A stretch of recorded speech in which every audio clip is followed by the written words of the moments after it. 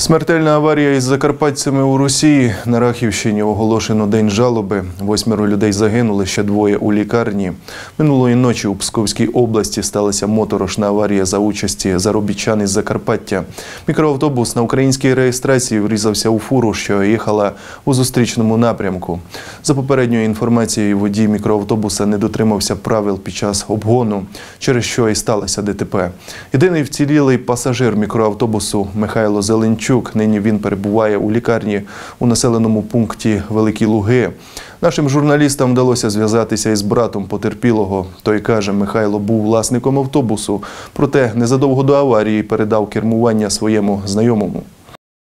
Он ехал в Питер, да. А с Украины же его, это его бус, он же перевозчиком был. Ну, а другой был на, за рулем. Да, напарник. Сам стрессовый. Да, все, по- все погибли просто. Один мой брат, понимаете, я, я сейчас, я тоже битель работаю на стройке, я сейчас собираюсь и сейчас бы я уже забил.